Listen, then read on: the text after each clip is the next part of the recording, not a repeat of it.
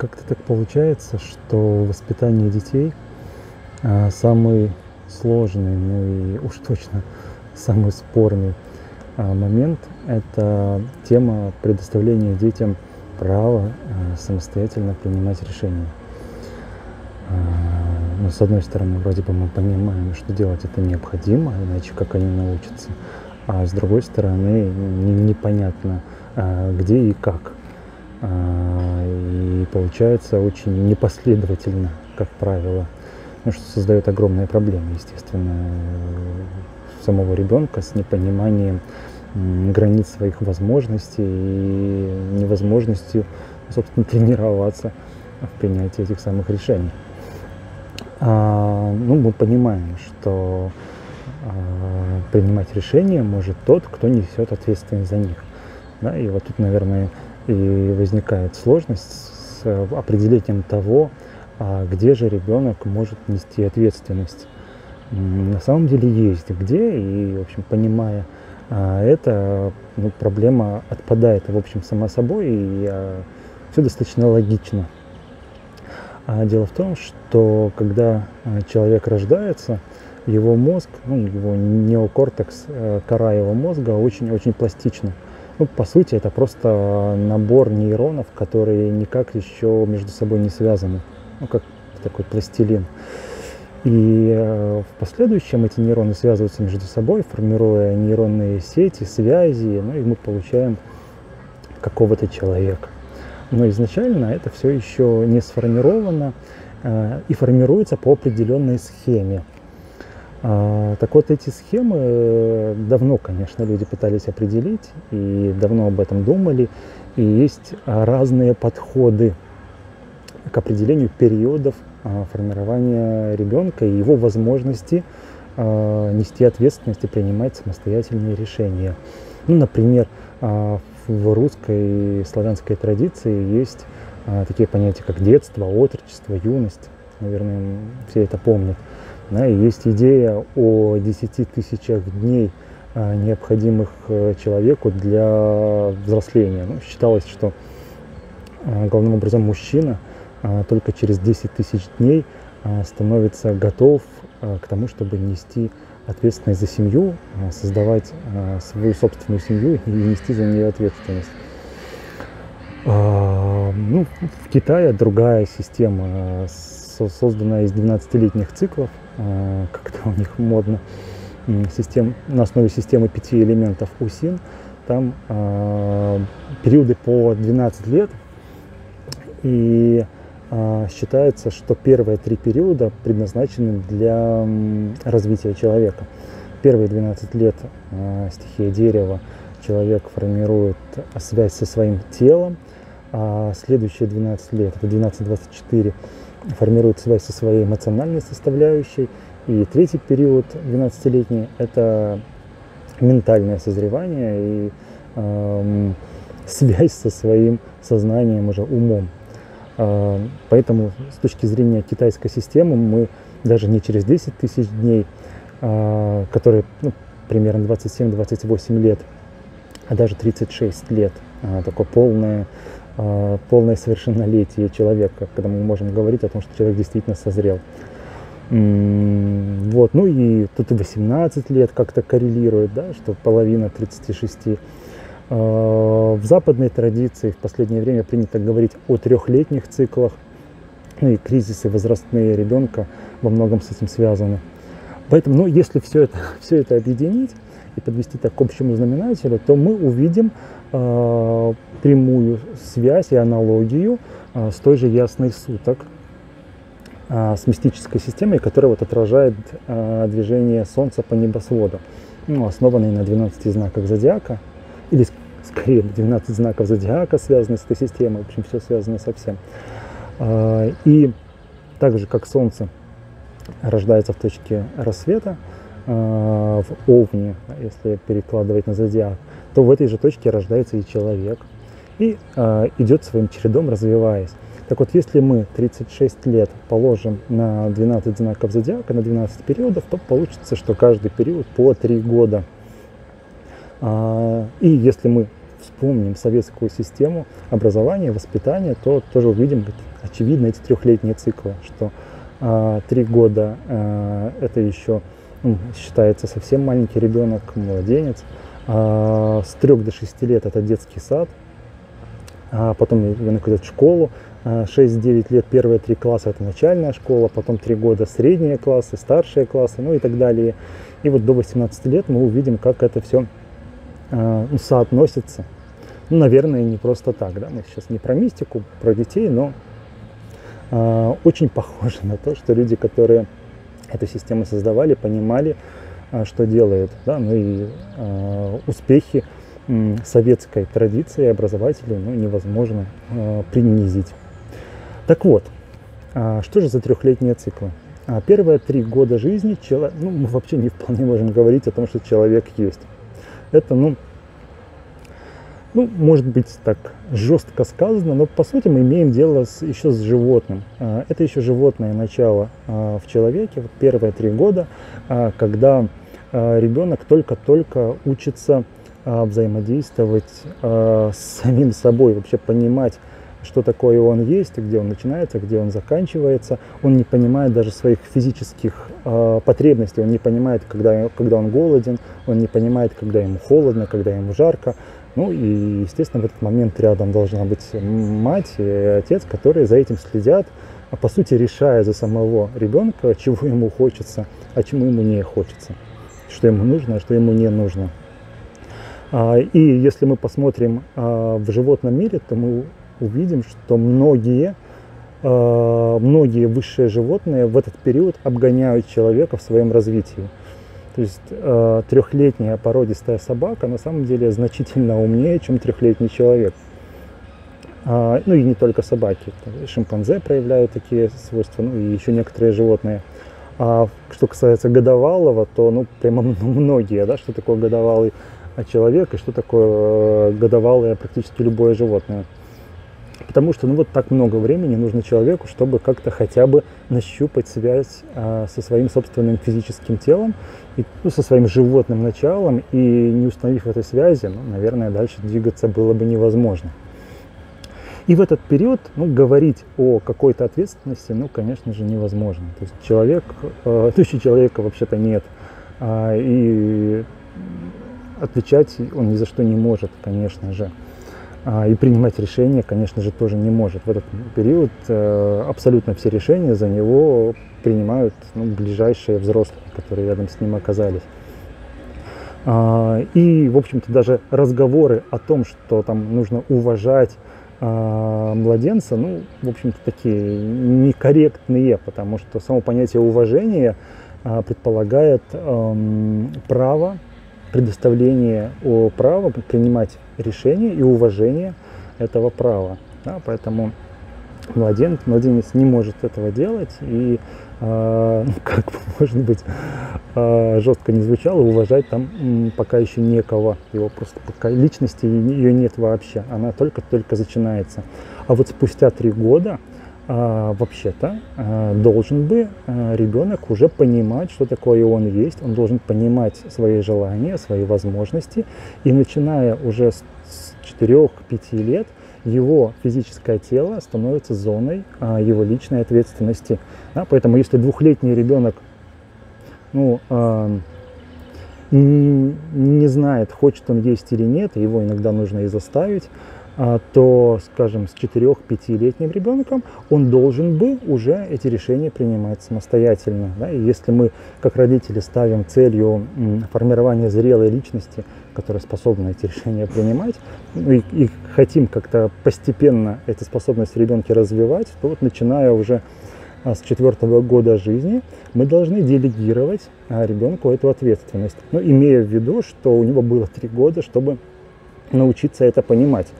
А, чего он хочет и чего он не хочет. Да? И поэтому, если 4-5-летний ребенок а, говорит, что он не хочет есть, ну, мы должны бы уважать а, это решение. И, ну, говорит, хорошо, не хочешь, не надо, поешь, когда захочешь. Ну, опять же, понимая, что это не должно угрожать его здоровью, да, потому что здоровье пока еще является зоной нашей ответственности, здоровье ребенка. за собственное здоровье он сможет отвечать очень не скоро. Да, мы до этого еще дойдем. К 18 годам на самом деле только. Поэтому, ну, поэтому если а, вопрос встает, встает о здоровье, тем более жизни, то, конечно, мы должны вмешаться. Но во всех прочих случаях то ребенок уже способен нести эту ответственность, и мы, как родители, э, должны бы помочь ему в этом, э, дав ему эту ответственность и уважая его право принимать решения. То есть уже начиная с трех лет. Следующий трехлетний период э, это ну, детский сад. Э, ребенок попадает на детскую площадку, начинает взаимодействовать с другими детьми. И это период э, его осваивания э, материальных предметов игрушек главным образом для него в этот период еще. Эти три года необходимы ребенку, чтобы понять, что такое мое, а что такое чужое. Что чужое просто так брать нельзя, а, ну и свое отдавать э, не следует, по крайней мере, за просто так. А, учится как-то взаимодействовать, учится обмениваться, а, учится волшебным словам «спасибо» и «пожалуйста», которые, собственно, и указывают на чужое, вот э, 3-6 лет это тот период, когда идет проработка этого аспекта, ну, важнейшего аспекта жизни ну, всех людей, взрослых, конечно, тоже. А, и, соответственно, после 6 лет, уже когда начальная школа, уже эта часть тоже должна бы становиться зоной личной ответственности ребенка ну, как, например, порядок в его игрушках. Он должен за это уже отвечать. Ну, если этот период формировался правильно, да, если мы осознанные родители, и мы помогали ребенку формировать эту ответственность, э, привили ему чувство собственности, и он понимает, что это действительно его, а раз его, то нужно за это отвечать, следить там за порядком, за работоспособностью этих предметов. Э, если все это сформировалось, то ну, вот после шести лет а, ребенок уже в состоянии отвечать за это, ну, за, за те предметы, а, которыми он владеет, а, и распоряжаться ими так, как ему заблагорассудится. То есть, если он свою игрушку решит кому-то подарить, это его личное право, и э, ну, родители должны бы в этом смысле где-то аккуратно даже подчеркнуть, обратив внимание на то, что да, это его игрушка, у него есть полное право распоряжаться ею так, как он захочет, но будь добр, а потом не предъявляй нам претензии, потому что мы за это не отвечаем. Ты сам принимаешь это решение, и ты несешь за него ответственность, чтобы ребенок тоже это прочувствовал.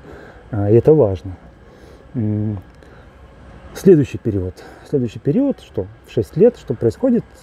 Человек идет в школу.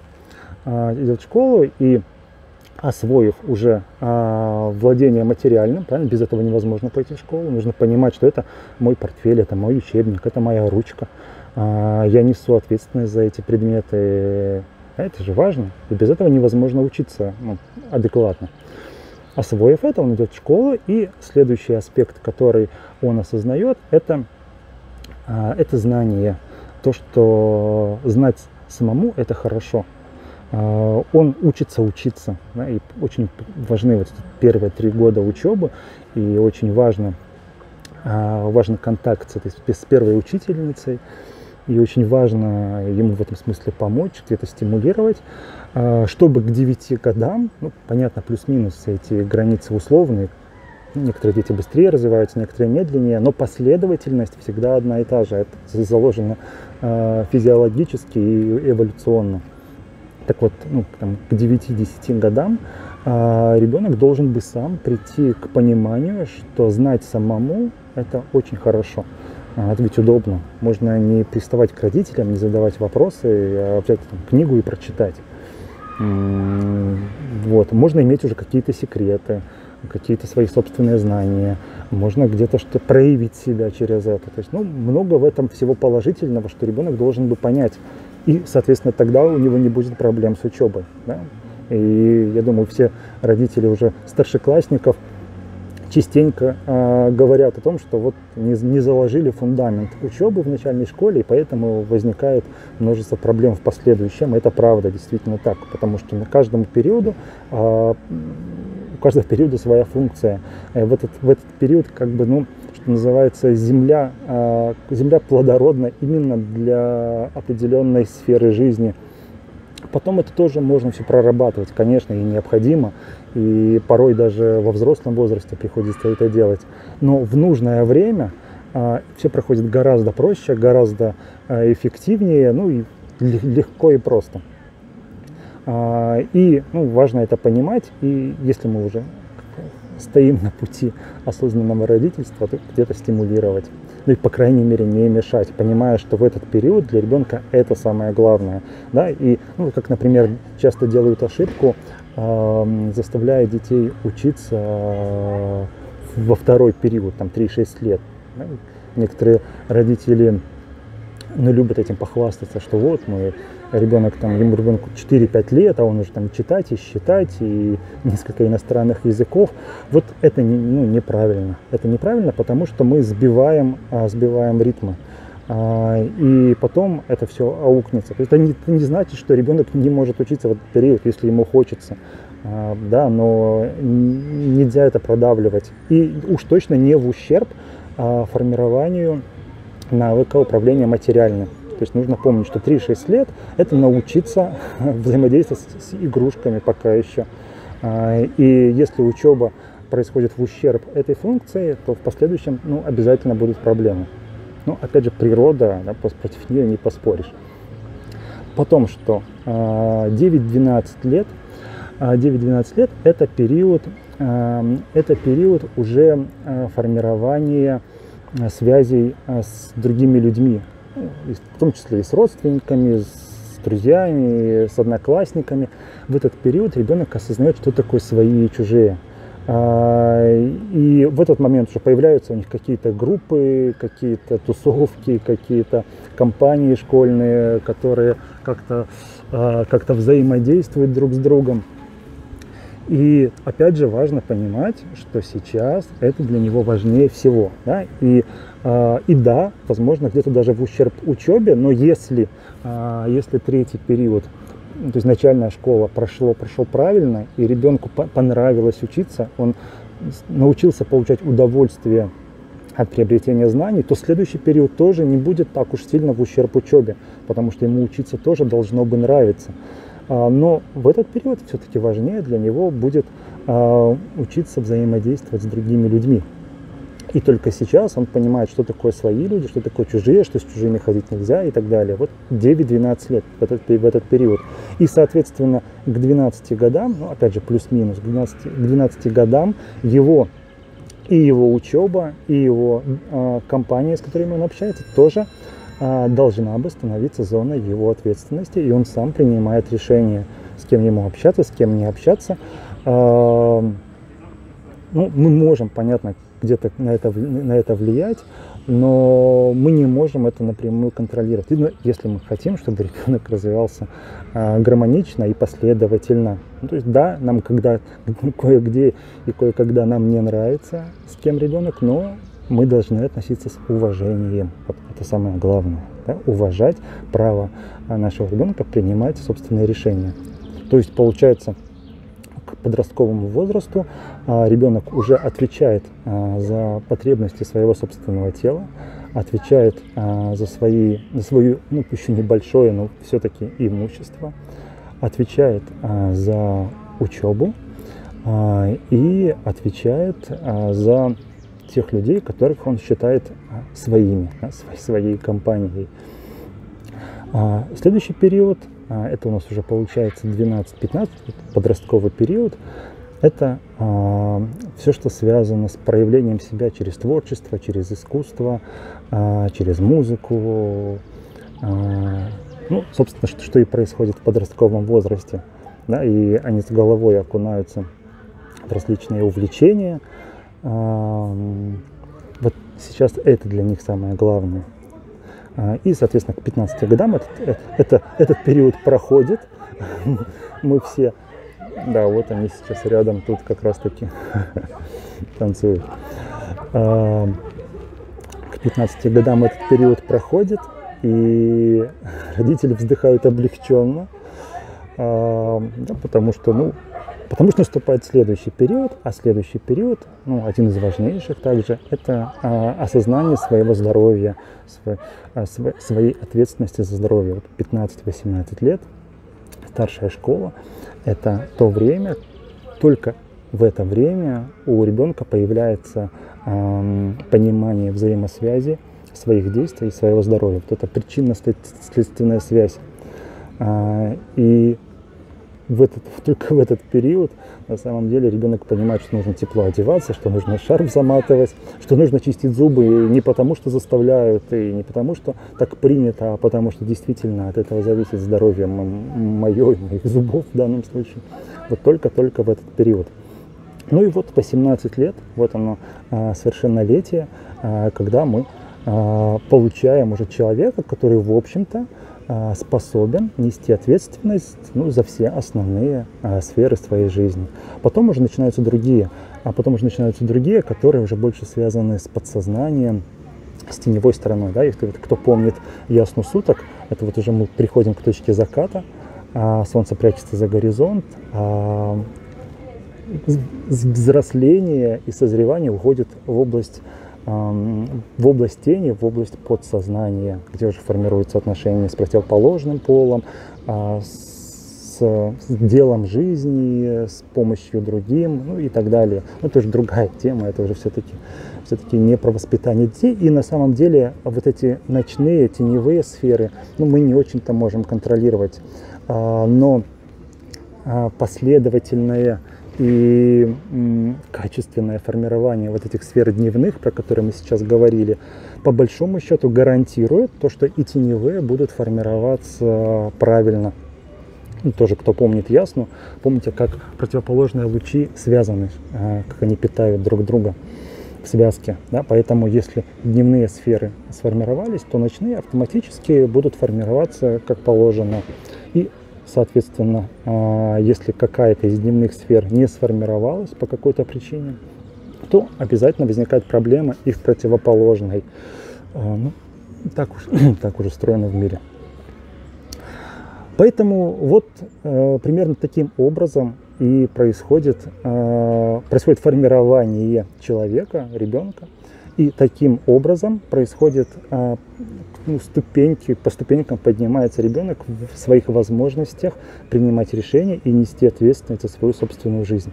Да? А за что мы должны нести ответственность? Ну, собственно, как, так же, как и взрослые, так и дети, нести ответственность за свою личную территорию, за то, что зависит только от нас, и э, то, что ну, полностью в наших руках. И вот таким образом, понимая эти периоды, мы можем а, мы можем, ну, во-первых, понимать, а, что в возможностях ребенка, а, что он уже способен унести на своих хрупких плечах.